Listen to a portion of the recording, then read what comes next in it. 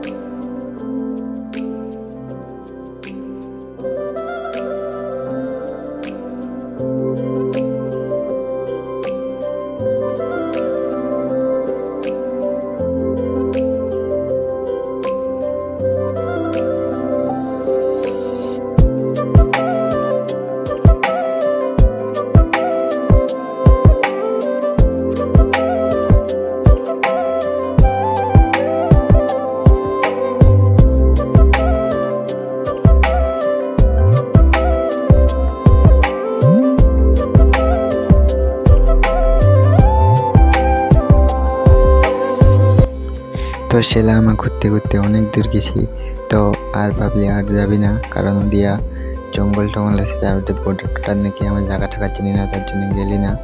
তার জন্য ওটা করলি আমার।